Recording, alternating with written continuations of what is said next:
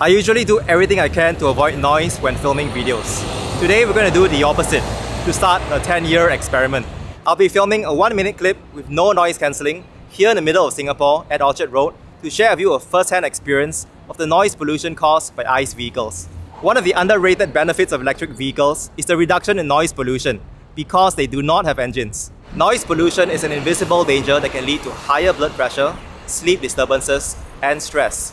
Many children who live near busy roads like this can also face challenges with reading, memory, and attention. It's noon time on Sunday, March 13, 2022, and I intend to come back here exactly 10 years from now when there are far fewer ICE vehicles on the road to show you a contrast. Let's begin.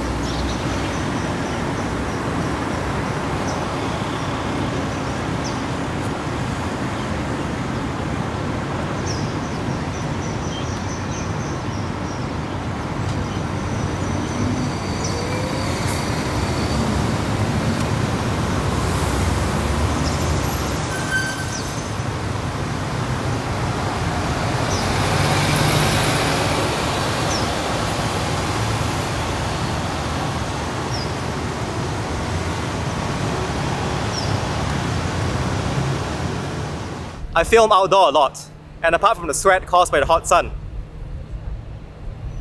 now you know one of the biggest challenges I face is noise pollution. The world's transition to EVs will help not just the air quality, but sound quality. Today, Singapore's EV adoption is 3.8%.